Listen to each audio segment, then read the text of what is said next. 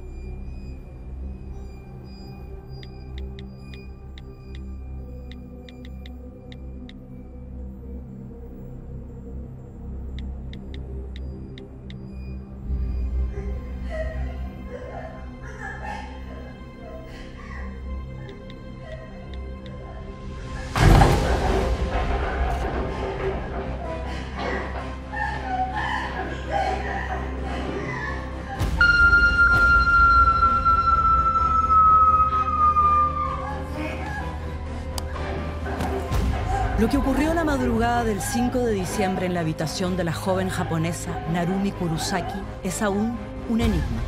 La Fiscalía francesa cree que fue asesinada poco después de las 3 a.m. y que el autor del homicidio es su exnovio chileno, Nicolás Cepeda. Pero han pasado casi siete años desde que Narumi desapareció. ¿Dónde está su cuerpo?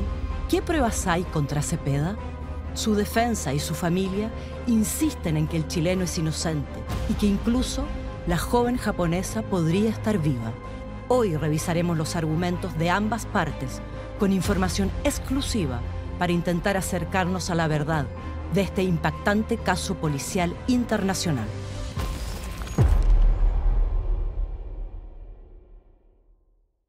Narumi, de 19 años, y Nicolás, de 24, se conocieron en octubre de 2014 en una fiesta en Japón. Él había llegado a ese país meses antes por un programa de intercambio a la Universidad de Tsukuba. Ella recién egresaba de la secundaria. Iniciaron una relación amorosa cuatro meses después. Narumi estuvo en Chile y Nicolás viajó también a Japón, donde incluso se quedó a vivir durante varios meses. Yo notaba que era un esfuerzo que ellos hacían por estar juntos por, por sus eh, respectivas idiosincrasias. Digamos, ella viene de un país eh, como Japón muy distinto al, nuestro, eh, por lo tanto, además que el idioma también era muy, muy, muy complicado, ellos se comunicaban más en, en inglés, digamos. Eh, por lo tanto, eh, yo notaba que también ellos hacían un esfuerzo muy grande para mantener su, su amor, su cariño, su relación. Los problemas entre ellos habrían comenzado cuando la joven se ganó una beca para estudiar en Francia. En octubre de 2016, la relación se terminó. Dos meses más tarde, Narumi Kurosaki desaparece desde su habitación en la residencia de estudiantes de Besançon. Hasta hoy, no se ha podido dar con ella. Para la Fiscalía francesa, el responsable es Nicolás Cepeda. Lo acusa de homicidio y lo lleva a juicio en marzo de 2022. Ya está en Francia el ciudadano chileno Nicolás Cepeda, quien ayer fue extraditado a ese país, acusado de asesinar a una joven japonesa con quien mantuvo una relación sentimental.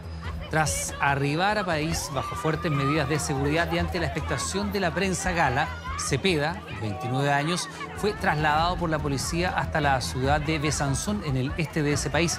Allí deberá enfrentar a los tribunales como presunto autor del crimen de Narumi Kurosaki, de 21 años.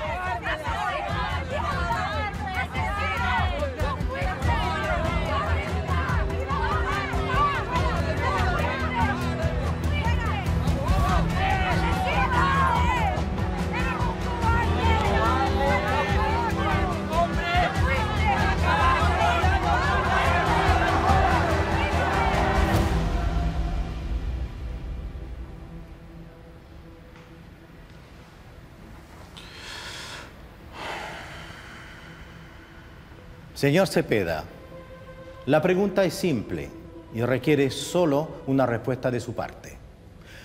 Una respuesta que apela a su conciencia.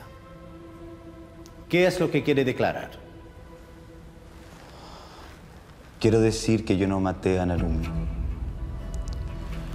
Rechazo con todas mis fuerzas las acusaciones que se hacen en contra de mí.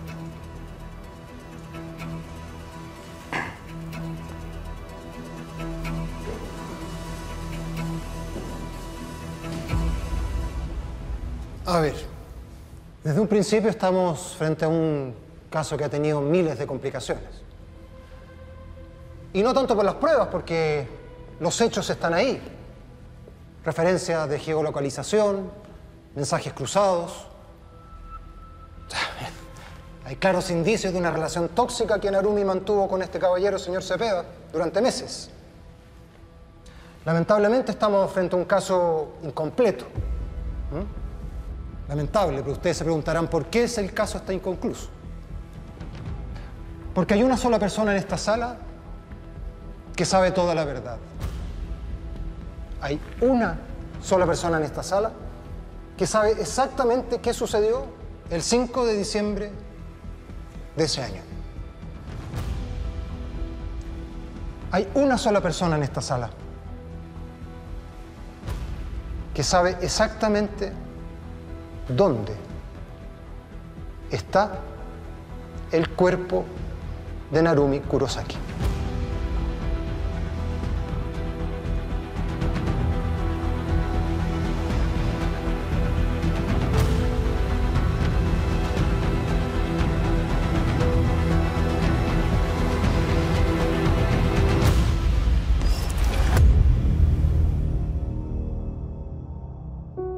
Mira, Nicolás eh, siempre fue muy cariñoso desde, muy temprana edad.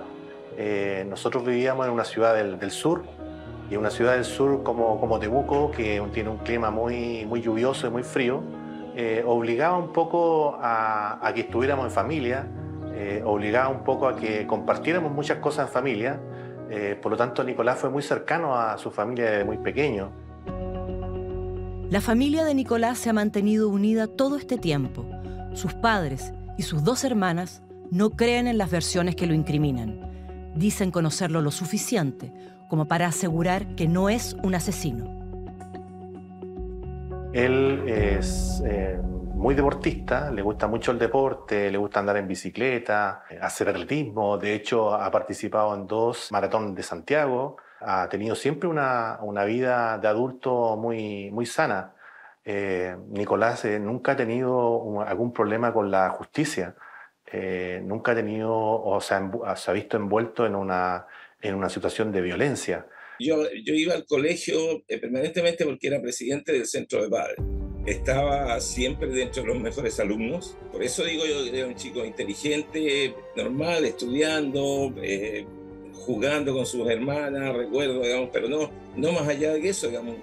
Egresó de Ciencias de la Administración y Empresas en la Universidad de Chile.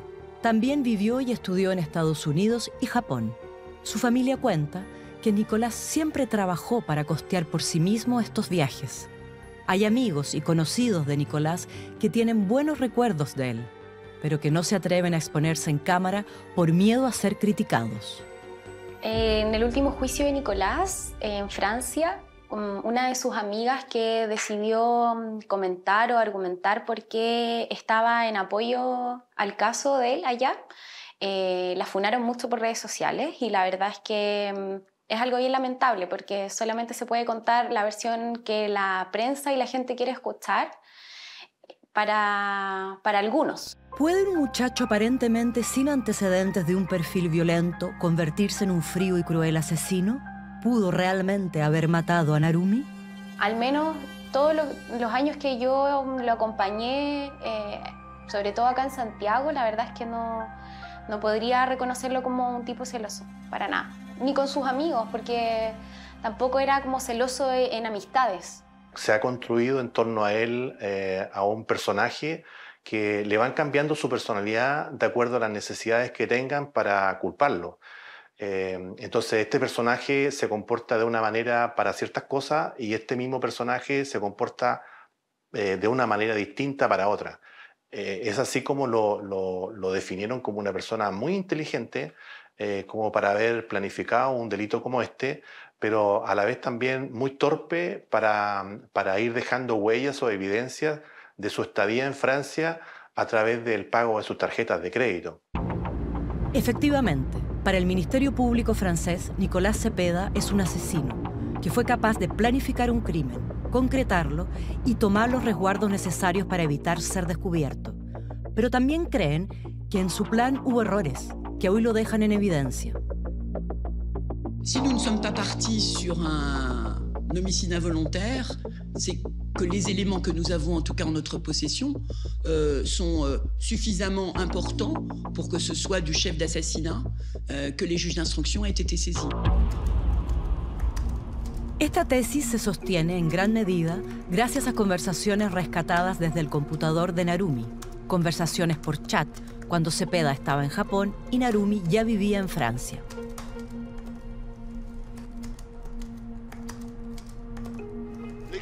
La computadora portátil de Narumi Kurosaki que se encontró en su habitación nos permitió encontrar indicios de conflicto entre ella y el señor Cepeda en el contexto de una separación donde claramente el joven tuvo problemas para aceptarla. Se pudo encontrar material que da cuenta de celos y posesividad por parte de Nicolás Cepeda. Como prueba de amor, quiero que borres a esos tres tipos de Line y de Facebook. Demuéstrame que eres seria, quiero ver tu compromiso. Decide defender a tres tipos que conociste la semana pasada. No lo haré. No voy a borrar ni a Arthur ni a Rafa.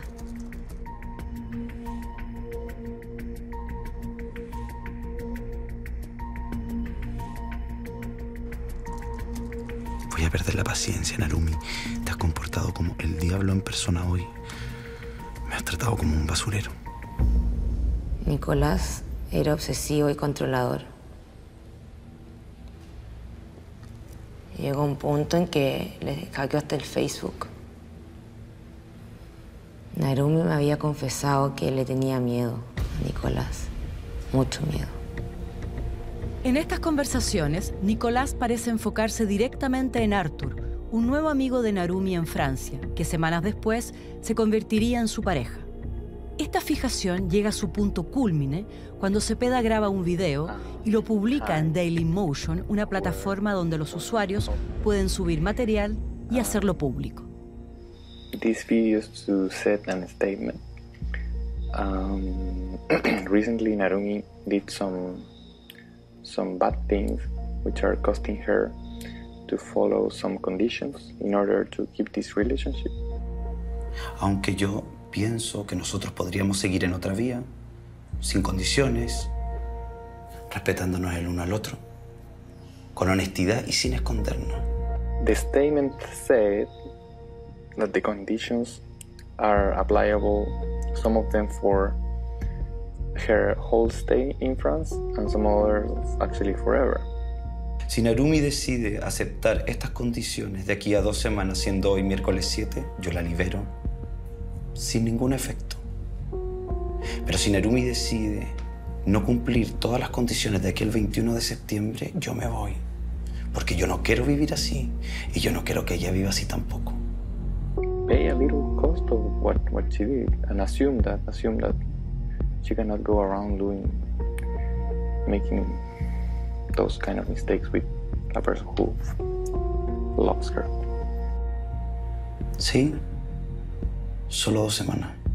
La relación estaba en crisis. Según la Fiscalía francesa, la dinámica entre Nicolás y Narumi se había tornado tóxica.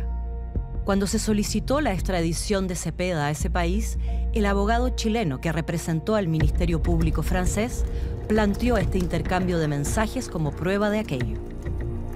Está claro que entre septiembre y octubre del año 2016 esa relación amorosa se rompió. Y se rompió de mala manera. Y existen múltiples eh, mensajes de, que, por mensaje, que, que se enviaron por distintos sistemas de mensajería electrónica entre el señor Cepeda y la señorita Kurosaki, que dan cuenta de un intenso, hay, hay, casi mil mensajes que se envían en un mismo día, dando cuenta de una relación tormentosa y un término tormentoso, dificultoso, lleno de, insultos, de garabatos, de, y, y, y, de, y, de, enrostrar situaciones eh, vinculadas a esta, al quiebre de esta relación amorosa. Te amo simplemente. Tú nunca te sientes responsable de mi embarazo, de mi hijo. Puedo concluir que eres un imbécil.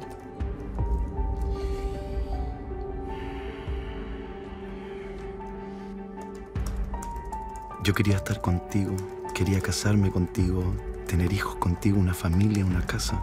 Yo no te decía siempre que debías verificar eso, porque tú nunca querías ir al doctor, recuerda. Yo quería que verificáramos eso antes de que te fueras a Francia. No lo puedes negar. Varias veces quise llevarte al doctor. No se pudo comprobar que Narumi estaba embarazada. Además, el médico forense dijo que al estudiar el expediente médico de Narumi, este se llenó con un no en la casilla de embarazo actual y que era una consulta a un neumólogo, por lo que no hay evidencias de una consulta ginecológica.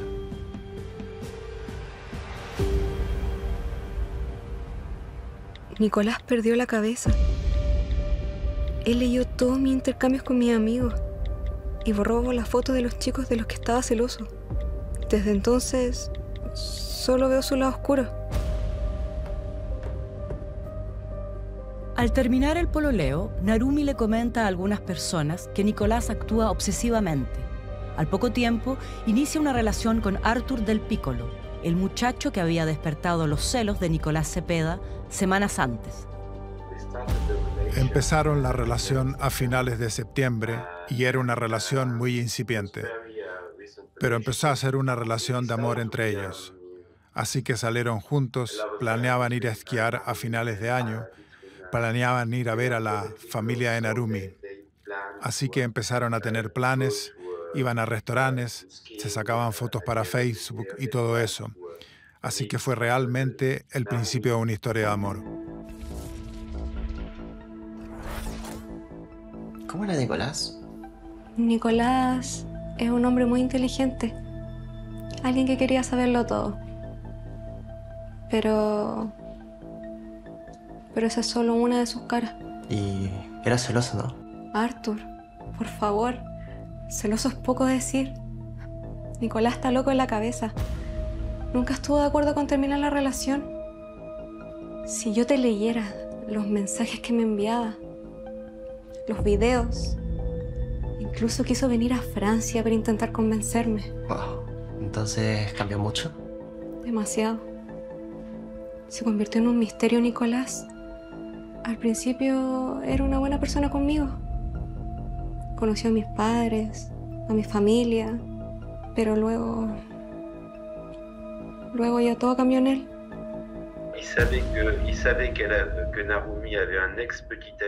Arthur sabía que Narumi tenía un exnovio que se llamaba Nicolás. Sabía que había roto con ella, que Narumi había roto con él porque Narumi le había dicho que la estaba acosando y que eso había sido suficiente. Eso era todo lo que sabía, pero nunca había visto a Nicolás. Nicolás volvió a Chile el 10 de octubre. Un mes y medio después, el 28 de noviembre, viaja a Europa. Según él, con la intención de conocer universidades para desarrollar un posgrado y para visitar a un primo que vive en Barcelona. Llega a Madrid y luego se dirige a Ginebra, Suiza, donde arrienda un automóvil. Por rastreo de llamadas, se ubica a don Nicolás Cepeda en Ginebra a eso de las 13.50 horas aproximadamente. Después se le sitúa en Dijon, a eso de las 17.56 aproximadamente.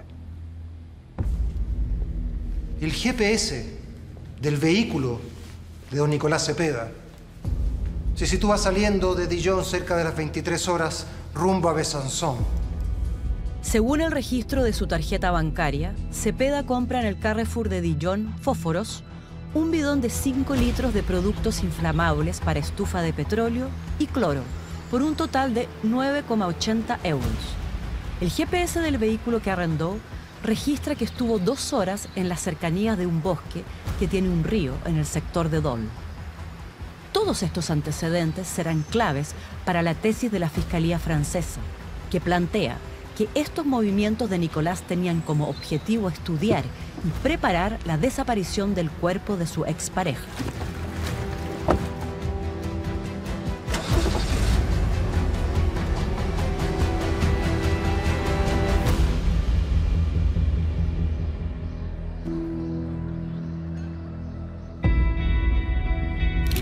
La policía francesa ha insistido que el chileno estuvo merodeando los lugares donde Narumi Kurosaki vivía y estudiaba.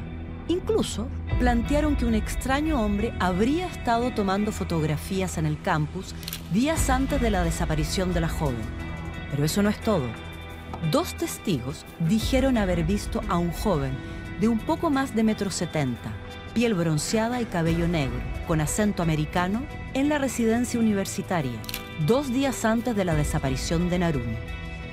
Está acreditado que fue visto y reconocido por dos testigos al interior de la residencia universitaria donde vivía Narumi Kurosaki, a través de la, testigo Rachel Roberts y Nadia Waquet, que lo vieron en los pasillos y en la cocina de la residencia universitaria y que eh, Posteriormente, confrontadas con un, con una, con un registro fotográfico, lo reconocen perfectamente como la persona que estuvo ahí. Incluso Rachel Roberts dice que hasta conversó con, con, con él en inglés en la cocina. El 2 de diciembre me encontré con él, ahora imputado en los pasillos del edificio. ¿Qué fue lo que sucedió en ese encuentro? No mucho. Él se dirigió a mí con acento americano. ¿Notó algo extraño, fuera de lo común? En él? Sí, estaba como escondido en la cocina, actuando de forma sospechosa. Eh, cuando yo entré y abrí la puerta, él saltó un poco y, y luego se fue. ¿Algo más?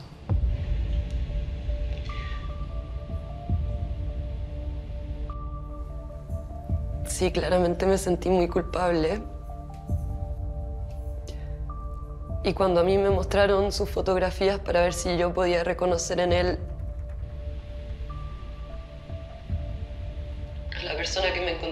cocina tuvo una reacción visceral y empecé a llorar porque fue recién ahí que me di cuenta que él podía ser el asesino. Muchas gracias, señorita Hop. Su próximo testigo fiscal. Quisiera llamar al estrado, su señoría, a Taeko Kurosaki.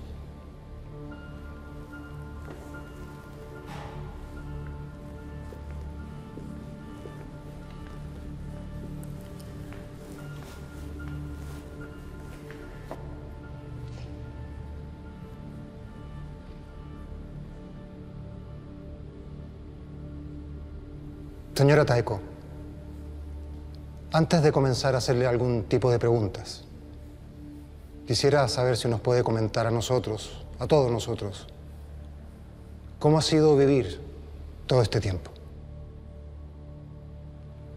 Primero quisiera dar las gracias, pedir perdón por todo el tiempo que ha significado el caso de mi hija.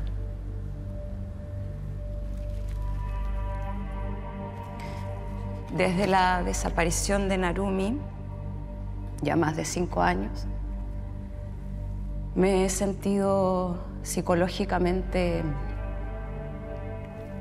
destrozada.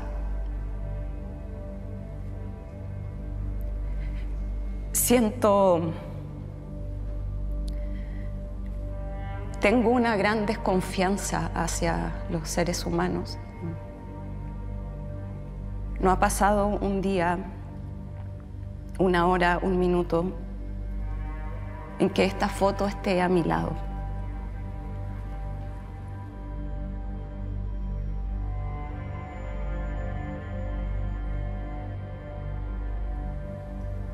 Usted es un gran mentiroso. ¿Cuántas veces has mentido en todo este juicio?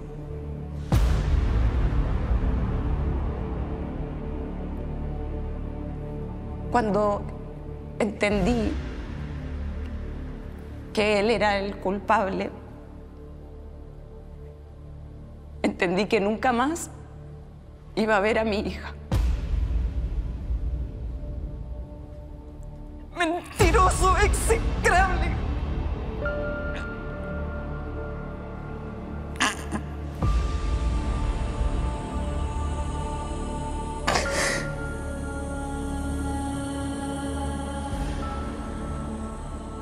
Narumi estuviera viva todavía hoy, ella habría construido un mundo mejor. No se olviden que mi hija vivía en este lugar. Narumi vivía en este país.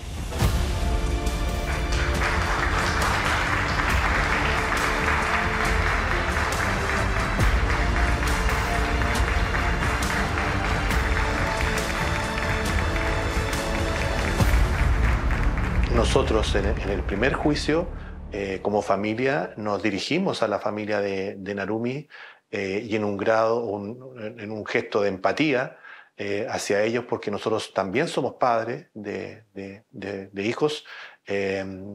entendimos su, sufrimiento y su dolor y se lo hicimos ver a la familia de, Narumi.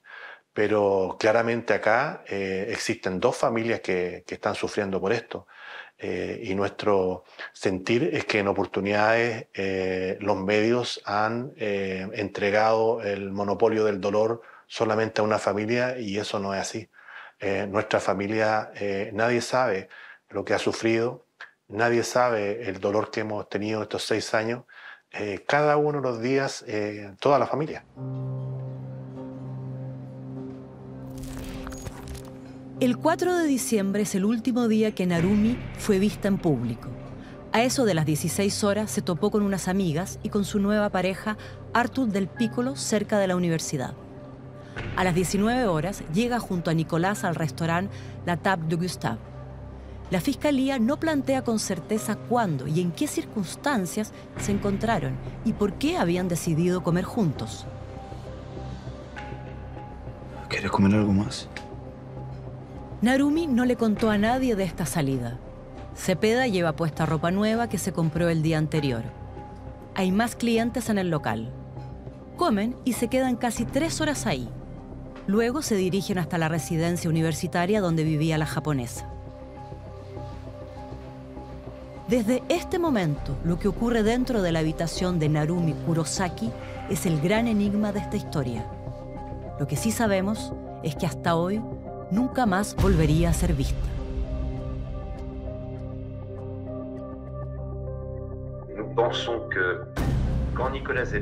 Pensamos que cuando Nicolás Cepeda viene a Francia, viene a ver a Narumi. No se lo dice a nadie de su familia. Nadie sabe que viene a Francia. Para nosotros está muy claro que ella o acepta volver a Chile con él y todo iría bien, o no habría un buen final. Creo que Nicolás Cepeda había previsto muy claramente la posibilidad de matarla. Era él o nadie más. Por eso ocultó su viaje a todo el mundo. Desde las 23 horas hasta las 3 de la madrugada del día siguiente, no hay señales que alerten a quienes viven en la misma residencia de que dentro de la habitación de Narumi estuviera ocurriendo un episodio de violencia. Pero de pronto habrían comenzado a escucharse gritos y golpes. Según la tesis de la fiscalía, durante esos minutos Nicolás mató a su expareja japonesa, posiblemente asfixiándola hasta que ella perdiera la conciencia y el aire vital. Euh, deux semaines avant que ça apparaisse dans le journal, dans la nuit, j'ai entendu des booms sur les portes, les meubles. Et après, j'ai entendu un cri euh, très strident, très aigu et fort. Et euh, ça s'est arrêté au bout d'une minute et ça a repris. Thank you.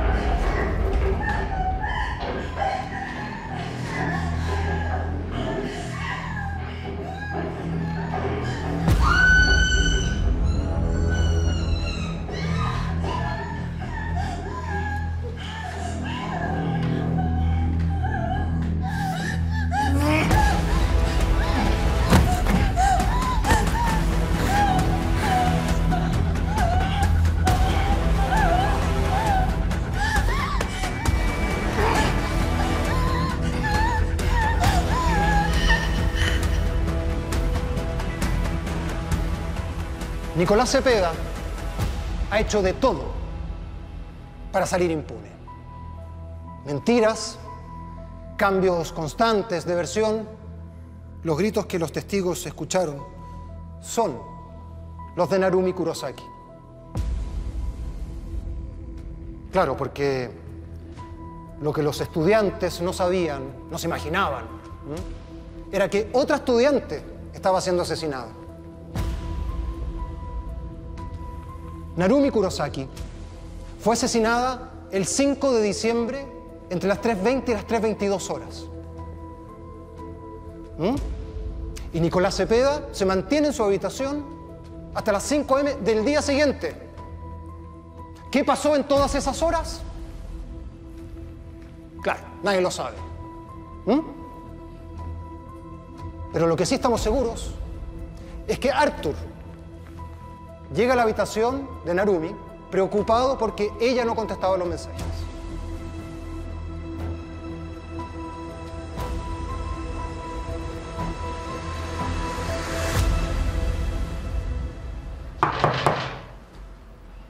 Narumi.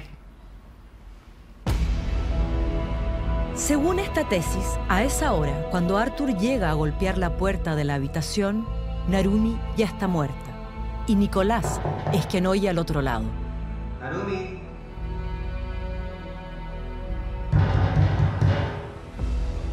Para ahuyentarlo, toma el teléfono de Narumi y le envía un correo a Arthur. Este será el primero de varios mensajes más que le mandaría haciéndose pasar por ella. Y en cada uno de ellos siempre le hará ver que quiere terminar la relación porque conoció a otra persona.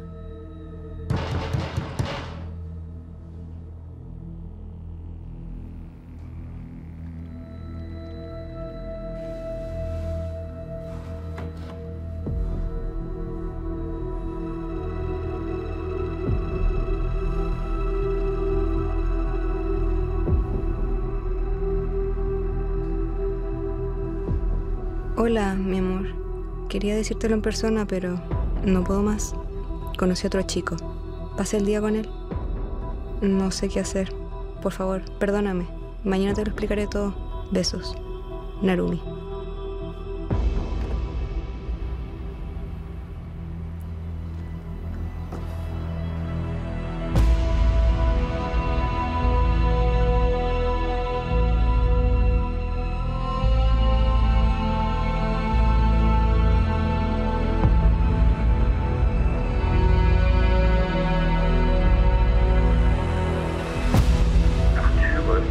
Arthur decide no insistir más.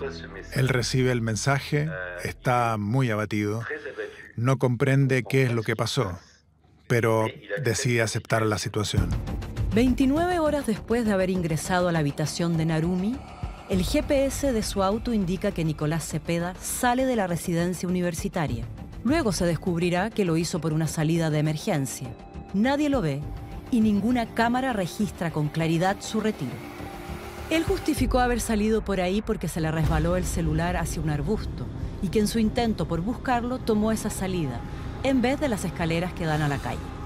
La fiscalía plantea que de algún modo logró hacerse invisible para escapar con el cuerpo de Narumi, posiblemente dentro de una maleta, meterlo al vehículo y manejar rumbo al sector boscoso de Dol, donde había estado días antes, probablemente reconociendo el terreno.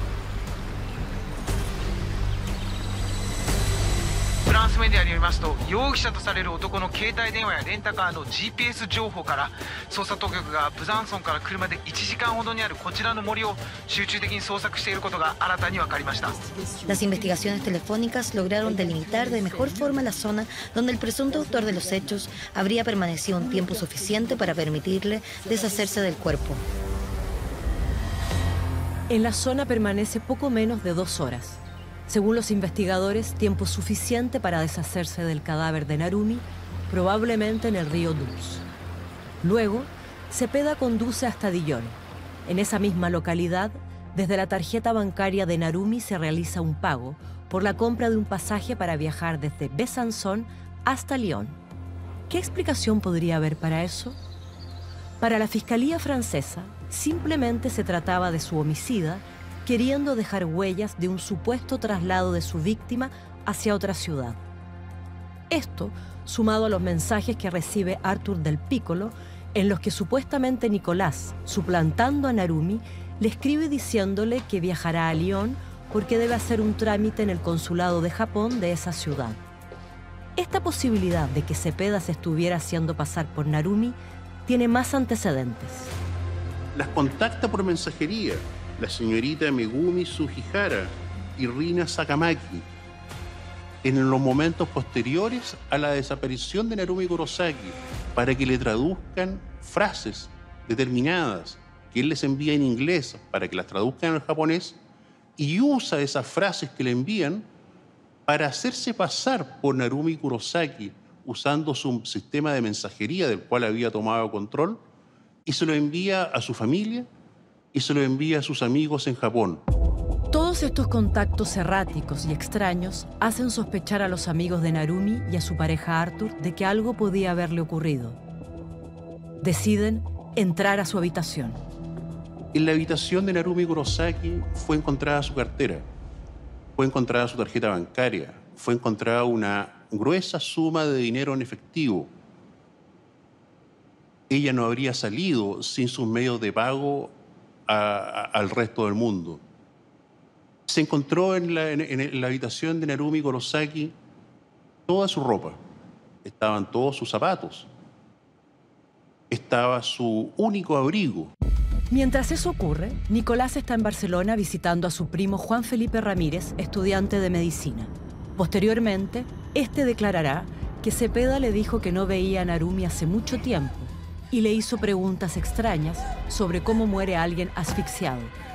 Un día después, Nicolás llega a Chile, pero no será hasta el 23 de diciembre que la policía determina que el chileno es sospechoso de la desaparición de la joven japonesa.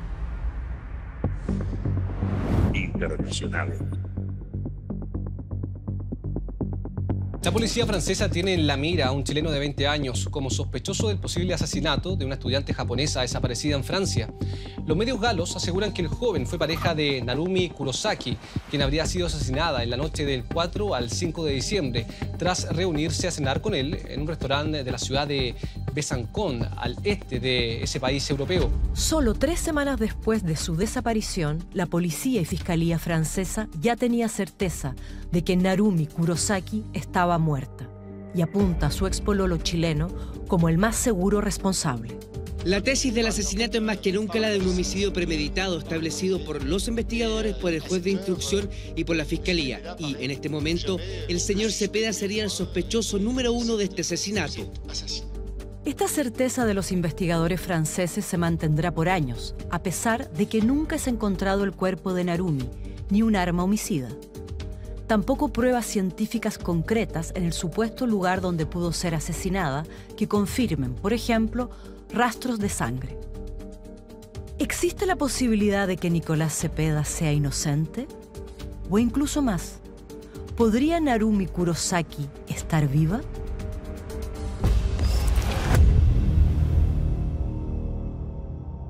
Y el gobierno de Francia solicitó a la Corte Suprema de Chile la extradición de Nicolás Cepeda, el único sospechoso en el asesinato de una joven japonesa y expareja que desapareció en el país europeo en el año 2016. Nicolás, ¿podrías contar qué pasó efectivamente con Narume? Declara inocente. La primera lucha judicial de la defensa del chileno fue evitar la extradición solicitada por el Ministerio Público francés. Los trámites demoraron casi tres años hasta que llegó formalmente la petición. Durante ese tiempo, el caso fue tomando mucha importancia mediática en Francia, Chile, pero especialmente en Japón, desde donde fueron enviados decenas de equipos periodísticos a Chile a investigar el entorno de Nicolás Cepeda. Hay muy pocas cosas que se conoce sobre Chile, ¿no? Los mineros, el salmón, el vino, eh, y ahora hay este caso que ha sido como noticia internacional y en Japón también es una noticia que todo el mundo sigue, ¿no? Conseguir la extradición de una persona para ser juzgado en otro país no es una tarea fácil. Se deben presentar pruebas contundentes y es el Ministerio Público de Chile, en este caso, el que debe representar a la justicia francesa. Son los jueces nacionales los que deben acoger o rechazar la solicitud. En una primera instancia, esto fue lo que declaró el presidente del tribunal. Los antecedentes relativos al hecho punible y a la participación son bastante precarios. La abogada Joana Esquia asume la defensa de Cepeda. Para ella, no existían indicios suficientes que sostuvieran la acusación. Eh, empezamos a conversar, por supuesto, con, con, Nicolás y empezamos nosotros a recopilar nuestra propia información, porque había muchas cosas que, eh, que eran muy imprecisas en el requerimiento o de frentón, eh, información que faltaba o, o información que era bastante sugerida por ellos. Los alegatos de lado y lado fueron un presagio de lo que se presentaría meses más tarde en el primer juicio en Francia. Si tú me preguntas un punto de vista jurídico, yo creo que el caso mismo, la falta de prueba del caso, era el que jugaba a favor de nosotros. Porque el estándar es que en el caso chileno se hubiera podido presentar acusación. Y yo creo que no estaba el estándar al momento de, presentarse la acusación, al momento de resolver, si no está el estándar ahora todavía, porque no ha habido ningún otro avance en el caso Narumi. Él nunca colaboró con la justicia para poder esclarecer, ni siquiera para poder aportar antecedentes que hubieran permitido encontrar a Narumi Kurosaki. Por todas estas consideraciones, se solicita formalmente a vuestra señoría excelentísima que conceda entonces la extradición del señor Nicolás Cepeda para que sean los tribunales franceses los que determinen si es culpable o inocente del asesinato que se le imputa sobre la señorita Narumi Kurosaki. Muchas gracias. Vamos a revisar ahora otras informaciones. La Corte Suprema falló la extradición a Francia de Nicolás Cepeda, único sospechoso de la celebración de la ciudadana japonesa Narumi Kurosaki. Más de tres años de incertidumbre tiene el caso de Narumi Kurosaki. La joven japonesa desapareció en diciembre de 2016 en Francia, tras terminar una relación sentimental con el chileno Nicolás Cepeda. Que hay antecedentes que son suficientemente serios, graves y concordantes que se puede presumir que en Chile se sería una acusación contra el imputado, es posible entonces conceder la extradición. La declaración del ministro Jorge Dam es opuesta a la que había dado el mismo semanas antes, pero la decisión ya estaba tomada. Nicolás Cepeda iba a ser extraditado a Francia y tendría que enfrentar un juicio por el supuesto homicidio de Narumi Kurosaki. Aún sin haber cuerpo, ni arma homicida, ni testigos directos. Para la abogada de Cepeda hubo factores extrajurídicos que influyeron. Los elementos a favor para ser extraditado era evidentemente que, a, ver, todos ustedes más que, yo saben, el, poder de verdad de, los medios de comunicación social, de la, opinión pública. Esto desde el día que, se supuso que Narumi había sido eh, asesinada, digamos, eh, ha sido una, noticia de, mucha conmoción pública dentro de Francia y dentro de Japón, de partida. O sea, y después en Chile también, digamos. Entonces, yo creo que era muy favorable para que se otorgara la extradición esta conmoción pública. Y la otra cosa que jugaba a favor de la extradición era que aquí hubo efectivamente, digamos, presencia muy importante de lo que son las relaciones internacionales. O sea, durante todo el proceso de extradición eh, siempre hubo tres o cuatro o cinco personas de la Embajada de Japón presentes. Entonces, aquí yo creo que Chile son actores muy relevantes a su política internacional, tanto Japón como Francia. Eso yo te diría que fueron los factores a favor de, que se otorgara la extradición. Tuvimos una conversación eh, cuando ya supimos que, eh, en este caso la Corte Suprema había decidido extraditar a Nicolás, pero siempre eh, fue, yo diría, en un tono muy, muy tranquilo porque fue muy duro ese, ese momento porque, porque, bueno, sabíamos de, de que acá se estaba cometiendo una injusticia eh, muy grande. Sabíamos también y teníamos la confianza de que, de que se iban a poder aclarar las cosas ya estando en, Francia, pero, pero también con un dolor muy grande, con el, dolor eh, por la justicia chilena. Este caso eh, lamentablemente sienta un, precedente. Esto significa que en el futuro cualquier connacional que esté en el extranjero por cualquier cosa y sin, sin, tener las pruebas suficientes como para acusarlo, la justicia chilena eh, lo va a enviar a, otro lugar, a otro país. Entonces, eso es absolutamente eh, injusto y habla muy mal de la, justicia chilena, de cómo se ven eh, estos casos. La orden se cumple y Nicolás Cepeda es llevado en calidad de acusado hasta Francia. Hasta allá llega, generando gran expectación en ese país. Tras arribar a París bajo fuertes medidas de seguridad y ante la expectación de la prensa gala, Cepeda, de 29 años, fue trasladado por la policía hasta la ciudad de Besanzón, en el este de ese país. Allí deberá enfrentar a los tribunales como presunto autor del crimen de Narumi Kurosaki. Tras todos estos trámites, finalmente Nicolás Cepeda está obligado a enfrentar a la justicia francesa. Hoy conoceremos material que nunca antes ha sido expuesto públicamente y que forma parte de los antecedentes que su defensa ha presentado y seguirá presentando en las próximas instancias judiciales. De esta manera, intentan responder algunas de las premisas que la Fiscalía francesa ha establecido como pruebas en este caso. La familia plantea que la relación de Nicolás y Narumi era un pololeo normal y que ella estaba muy contenta con la forma de ser de su novio chileno. Mi amorcito, estoy tan contenta que hayamos sido elegidos como la mejor pareja del mundo. Estoy tan contenta de poder encontrarte y de ser tu novia. Estoy orgullosa de ti desde mi corazón. Soy tuya para siempre. Se notaba que, lo quería mucho, eh, se notaban que también hacían una muy buena pareja, eh, se complementaban mucho, ella, ella lo seguía para todos lados a Nicolás. Eh, de tal modo que había como una, conexión entre ellos bastante, bastante bonita. Otro punto que el padre de Cepeda plantea es que la relación no habría concluido en malos términos, como se ha dicho. Para argumentarlo, revela una conversación entre Narumi y Nicolás del día en que terminaron su pololeo. También hace público lo que sería un correo que Narumi le envía 23 días después del quiebre, en el que le escribe palabras de cariño. Este habría sido uno de los tantos mensajes que la japonesa le enviaba a su hijo y que éste no habría contestado. Para Cepeda, estos intentos de comunicarse no son coherentes con el supuesto miedo que Narumi decía tenerle a Nicolás.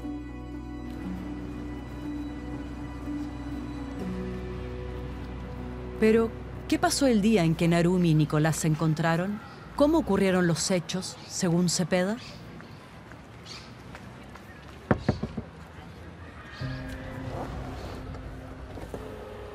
Nicolás. Hola. ¿Y tú qué haces aquí? Te vine a ver. ¿Cómo no avisaste que venías? Es sorpresa. Ven, Lo, lo, que yo conozco que, bueno, efectivamente Nicolás se, se juntó con, con, Narumi eh, estando en Francia y que ellos de forma consensuada, eh, de común acuerdo, eh, deciden, para seguir pasando una, una tarde juntos, deciden ir a cenar a este, a este restaurante. La, verdad es que eh, la información que yo, que yo tengo y que manejo, que fue una, una, velada muy agradable, una cena muy eh, de, mucha cercanía. Eh, ellos, ellos habían sido novios por lo tanto fue mucho también de, de saber cómo estaban sus vidas, dado que habían estado distantes por un tiempo, y eso está corroborado también por las diversas fotos, fotografías que sacó la misma Narumi de esa actividad. Qué bien. ¿Por la sorpresa?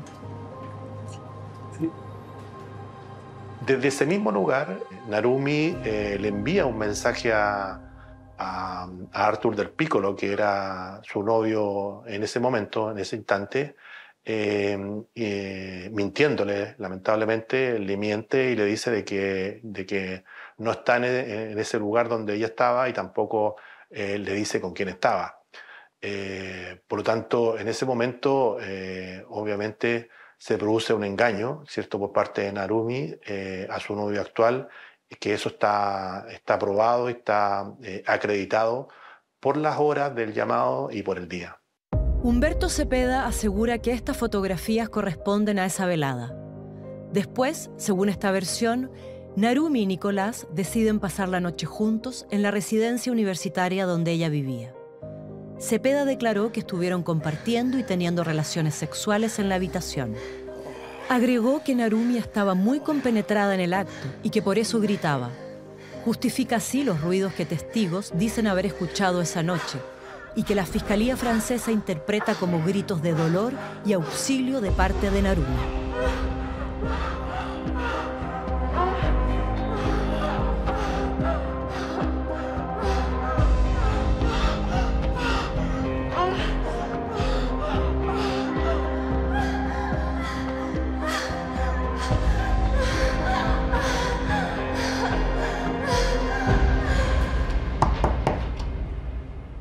Narumi.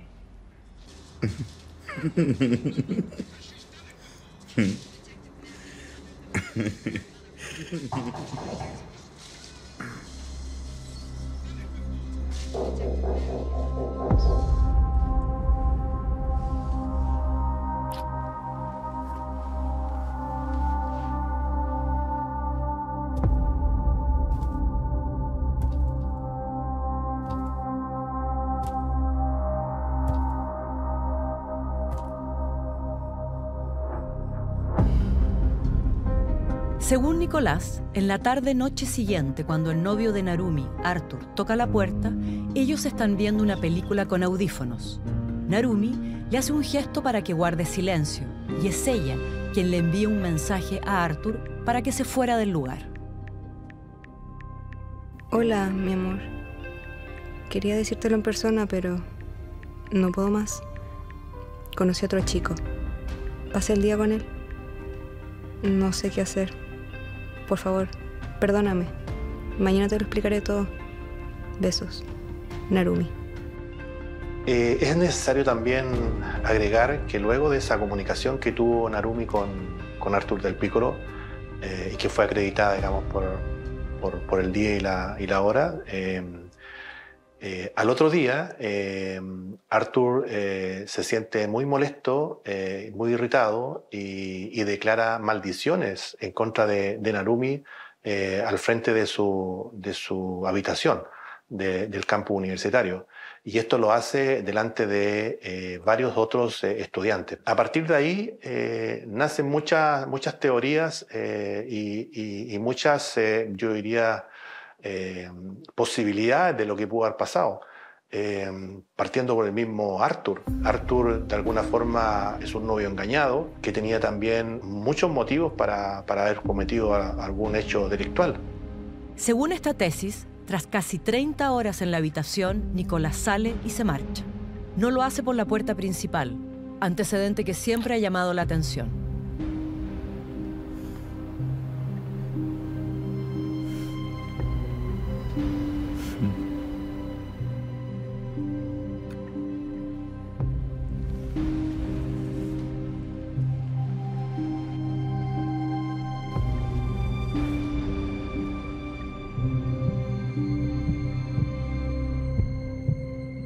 ¿Por qué tomé la salida de atrás?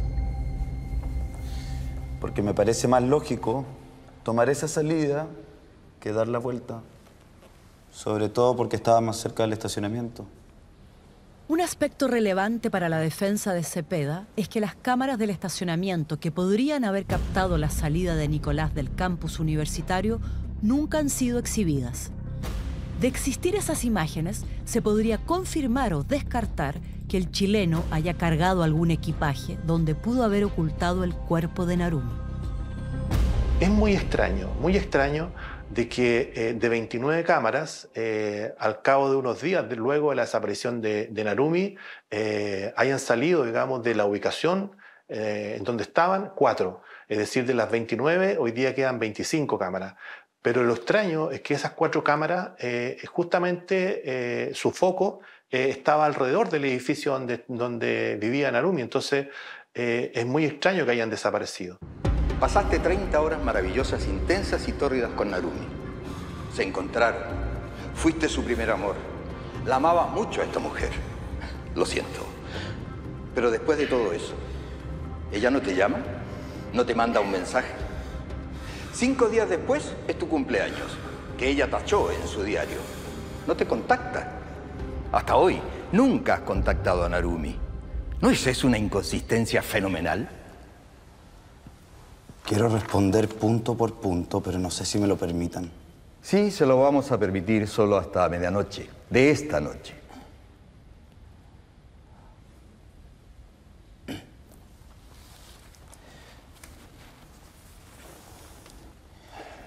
Ciertamente, el reencuentro con Narumi fue maravilloso.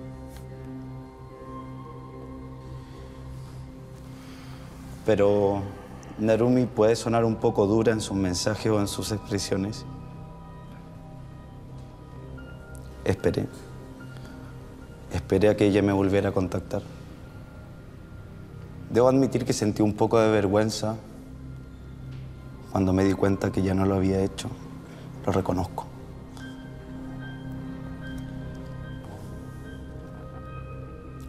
Luego pasaron los días y tuve que devolver el auto. Si dices que no me importa, te equivocas. Quizás tenías otras razones para no llamar a Narumi. No llamamos a los muertos. La defensa de Nicolás Cepeda tiene varias tesis de lo que pudo haberle ocurrido a Narumi Kurosaki. Una de ellas es que efectivamente la joven esté muerta. Pero en ese caso, apuntan sus sospechas hacia Arthur del Piccolo, el novio supuestamente despechado, que además fue el primero en ingresar a la habitación de la joven, una semana después de su desaparición, el mismo que alertó a la policía diciendo que en la pieza habían cosas extrañas.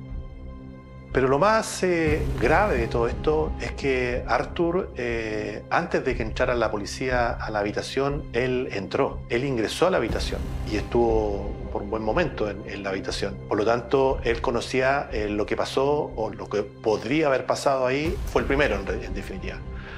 luego ingresa la policía y bueno, la policía hace sus investigaciones, toma los, los rastros que, que pudo haber tomado. Luego Arthur nuevamente ingresa, después de que, de que ya la, policía había tomado, eh, eh, había tomado en control el caso, digamos, y que se supone que la habitación estaba cerrada eh, para todos, él nuevamente ingresa. no sabemos para qué. La verdad es que el primer sospechoso de la policía francesa fue justamente Arthur del Piccolo, pero tras interrogarlo surgió el nombre de Nicolás Cepeda. De ahí en adelante, las investigaciones apuntaron al chileno. En un primer momento, la policía investiga a Arthur. Revisan su teléfono, van a su casa para ver si hay alguna anomalía y van a investigarlo. Pero eso fue justo antes de que se supiera que Narumi se había reunido con Nicolás Cepeda el 4 de diciembre. Y desde ahí en adelante, ese fue el foco. Los peritajes científicos concluyeron que existían rastros de ADN de varios hombres en la habitación de Narumi de Nicolás, de Arthur y de otras dos personas desconocidas. En cuanto al vehículo que Nicolás usó, no se pudo hallar evidencia del cuerpo de Narumi. Esto no fue determinante para los investigadores franceses, porque siempre han dicho que el cadáver debió ser trasladado en una maleta. Pero la defensa de Cepeda suma otro dato. la presencia de un misterioso automóvil que ingresó al campus pocos minutos después de que Nicolás saliera del mismo y que según ellos nunca se habría investigado. Se retira eh, luego de eso y nadie sabe, eh, porque no volvió más ese vehículo, nadie sabe quién es, nadie le tomó la, patente del vehículo, ni tampoco, digamos, se sabe quién eh, podría haber estado o qué estuvo haciendo ese vehículo en, el, en, el, campo. Hay otra teoría que tiene que ver también con con, la, probable participación del administrador de, este, de este campus, que también eh, administraba las cámaras de, de videovigilancia.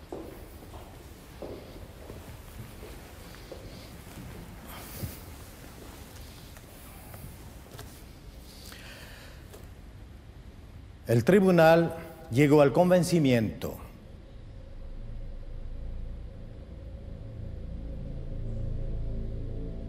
de que Nicolás Cepeda es el autor de la muerte, dado que hay un conjunto de indicios graves y concordantes que convergen hacia su persona.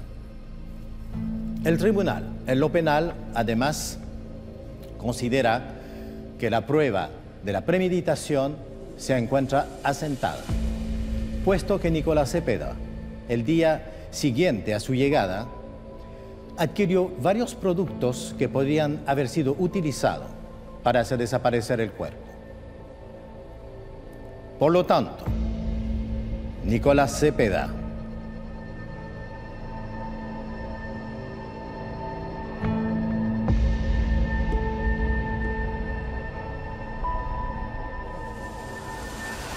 es condenado a 28 años de prisión.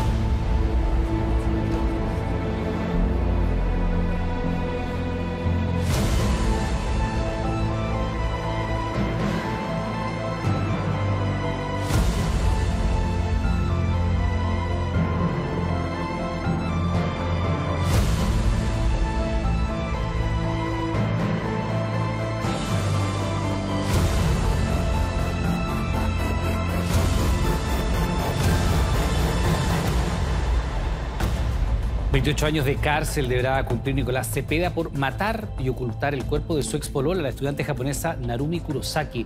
A esta conclusión llegó el tribunal francés pese a que nunca el chileno reconoció el crimen. Siempre negó su responsabilidad, pero las pruebas presentadas ante nueve jueces, tres magistrados y seis civiles, fueron más potentes que su versión, porque al menos siete de ellos votaron este martes por un veredicto condenatorio. Bueno, lo primero señalar que siempre va a ser llamativo el condenar a una persona por la comisión de un homicidio en no existiendo cuerpo. Eso es lo llamativo tanto en Francia como en nuestro país. En nuestro país existe la posibilidad de condenar a alguien no existiendo materialmente el cuerpo.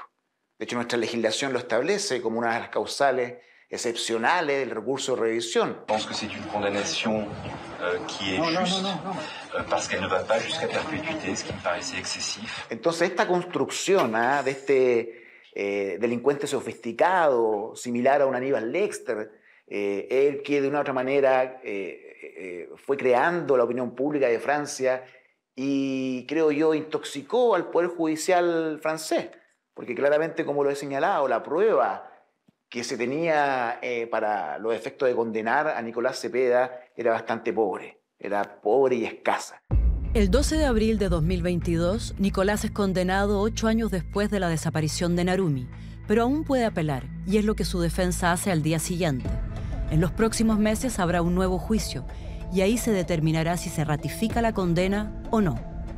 Su familia y abogados buscan reunir más antecedentes y responder a las pruebas que fueron presentadas en el primer juicio, con la esperanza de convencer a la justicia francesa de que es inocente. Esta vez, su intención es demostrar que pudo haber otros responsables de la desaparición e incluso que Narumi pudo haber desaparecido voluntariamente.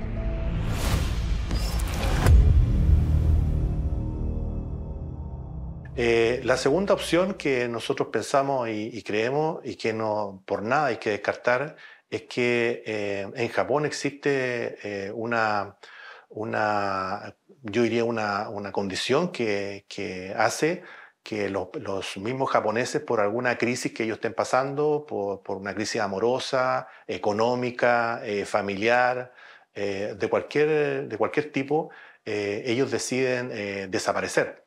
Se llama en Japón, se llaman los evaporados, que, que, es una, una, opción que tampoco no debemos descartar, dado que incluso en el mismo Japón existen personas eh, y empresas que ayudan a, las mismas personas a desaparecer.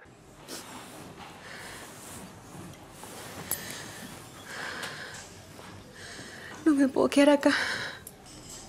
Tengo miedo. Él va a volver.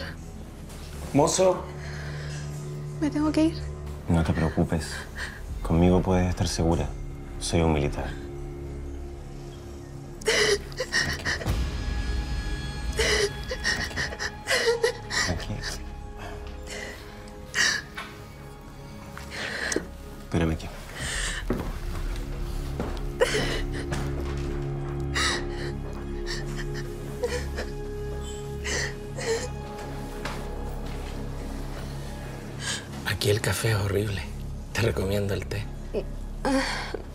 Gracias. Soy Said. ¿Cuál es tu nombre? Narumi. ¿Eres hermana de Naruto? Si estás en problemas, dime. ¿Te puedo ayudar? Ah, no, gracias. Me tengo que ir.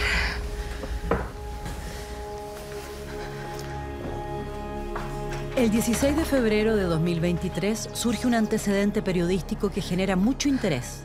Said Neremi, un hombre que dice haber visto a Narumi Kurosaki en un restaurante de Besanzón seis días después de su desaparición. También dice que se comunicó con la policía, porque luego reconoció a la japonesa cuando salió su foto en las noticias, pero que no fue tomado en cuenta. Entré y vi inmediatamente un militar que había visto antes, acompañado a una joven asiática que lloraba. Me senté en la mesa de al lado y escuché lo que decían. La joven decía, no me puedo quedar aquí, tengo miedo, él va a volver, me tengo que ir. Puse atención y escuché que el militar dijo, no te preocupes, conmigo estarás segura, soy un militar. Le pregunto, ¿cuál es tu nombre? Y me dice, me llamo Narumi. El testimonio de Said Neremi podría ser incluido en la presentación de la defensa durante el juicio de apelación, pero no es el único que dijo haber visto a Narumi después de su desaparición. Una mujer que trabaja como garzona en un local de la misma ciudad también aseguró haberla visto el 11 de diciembre. De esta supuesta testigo se sabía antes, pero tal vez en el nuevo juicio sea considerada como testigo de la defensa. Será un nuevo debate judicial que definirá el futuro de Nicolás Cepeda. Al final del proceso, el chileno podría ser condenado a pasar décadas en una cárcel francesa, o tal vez absuelto de los cargos. ¿Culpable? ¿Inocente? Un caso que ha sido difundido en tres continentes. Un enigma que probablemente se mantendrá hasta que Narumi Kurosaki sea encontrada, viva o muerta.